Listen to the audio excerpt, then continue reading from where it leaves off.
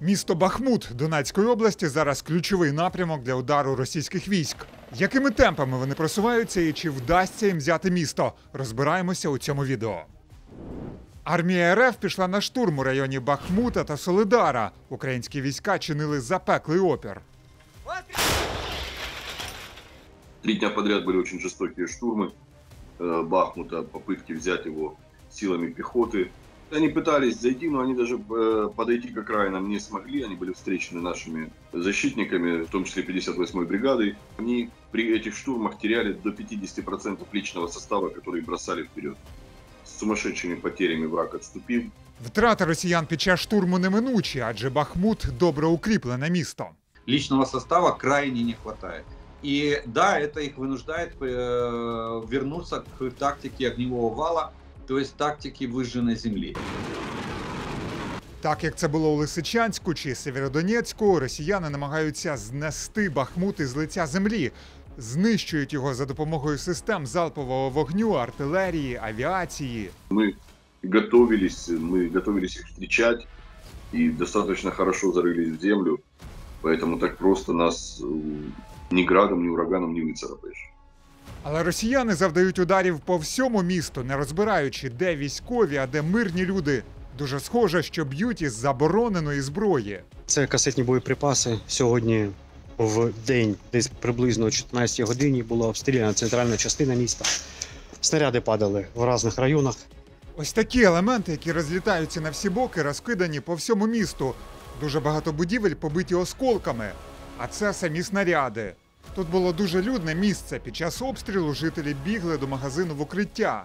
Через російські удари лише у середу загинули щонайменше шість мирних жителей і троє поранені. Але все ж таки в Бахмуті залишаються досить багато жителів. Город постепенно разрушают и уже прилетает. Если прилетело раньше, разбили коммунальное предприятие, которое занималось вывозом мусора, приходится местной власти искать какие-то варианты, чтобы город не утонул в мусоре и в отходах действительно находят. Э, Есть э, э, районы целые остаются без воды и без света, приходится после обстрелов восстанавливать снабжение. Пошкоджено 12 будинків, у чотирьох із них почалися пожежі. Багато жителів міста у шоковому стані. На двір тепер мало хто виходить. Адже обстріли та спроби взяти Бахмут штурмом продовжуватимуться. Це місто дуже важливе, адже відкриває дорогу як на Слов'янськ, так і на Костянтинівку. Бахмут это один из таких ключевых пунктов, которые они выбрали в качестве своей цели. И выход на Бахмут дает и- им возможность, или захват Бахмута, дает им возможность э, окружить э, довольно большую часть нашей группировки. Но э, это планы Российской Федерации, и они на них сосредоточились очень, очень серьезно.